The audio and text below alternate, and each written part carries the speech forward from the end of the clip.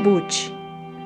Djibouti é a capital e o maior assentamento da República do Djibouti, no chifre da África, e tem 624 mil habitantes. A população do país é de pouco mais de um milhão. É um dos países mais pobres do mundo, com um clima muito seco e pouca área para a agricultura, os recursos são escassos.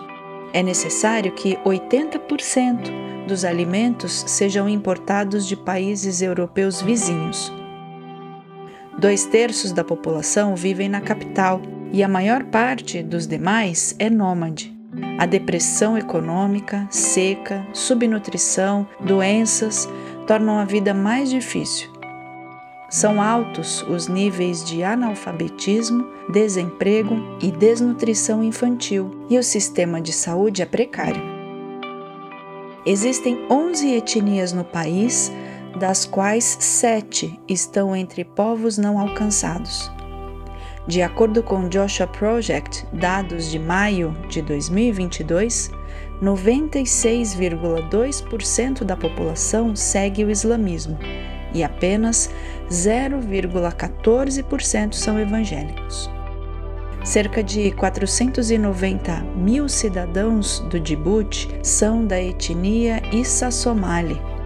São muçulmanos sunitas mas é comum também procurarem mestres religiosos, os wadads, para bênçãos, encantamentos ou conselhos. Costumam ser individualistas, corajosos e capazes de enfrentar perigos, fome e sede. Frequentemente, eles se envolvem em conflitos com outras tribos. O segundo maior grupo étnico é formado pelos Afares, 295 mil. São hospitaleiros e capazes de vingar a morte de um hóspede como se este fosse parte do seu próprio clã. São corajosos, fortes e belicosos. Seguem a religião islâmica, mas mantêm crenças e rituais pré-islâmicos celebram anualmente uma festa para os mortos, além de dar oferendas ao mar, na esperança de que assim suas aldeias sejam protegidas. Muitos usam amuletos de couro que contêm ervas e versos do Corão. A prática da mutilação genital feminina é um grave problema no Djibouti e um dos principais fatores para as complicações obstétricas e altas taxas de mortalidade materna e infantil. Uma lei de 1995 que proíbe tal prática nunca foi aplicada. A Fares e Issa Somalis dispõem de acesso à Bíblia completa em seu próprio idioma, além de outros recursos para a evangelização.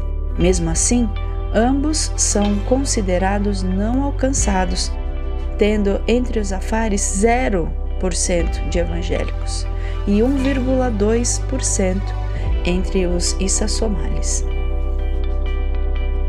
Oremos.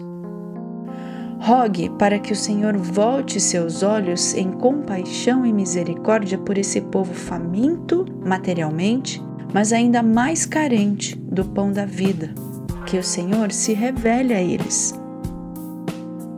Clame pela paz no Djibouti, bem como nos países vizinhos.